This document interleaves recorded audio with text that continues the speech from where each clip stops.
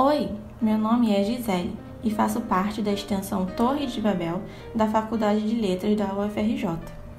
Hoje eu queria falar sobre um livro que marcou muito a minha infância e que me marca até hoje, O Pequeno Príncipe. Foi o meu primeiro livro de gente grande, presente da minha irmã mais velha Karine. Li esse livro ferozmente, mas como era criança, não entendi sua mensagem de primeira.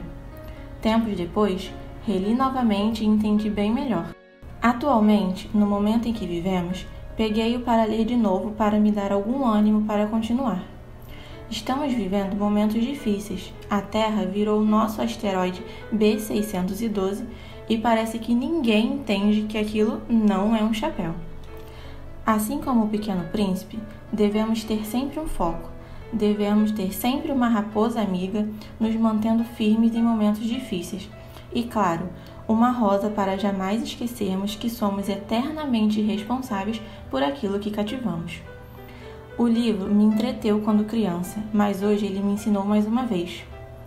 O Pequeno Príncipe tem alma de criança, tudo o que precisamos em certos momentos e agora mais do que nunca.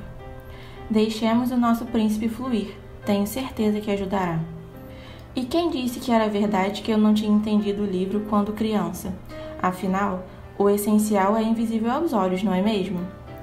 Espero que tenham gostado. Um beijo grande daqui do meu asteroide.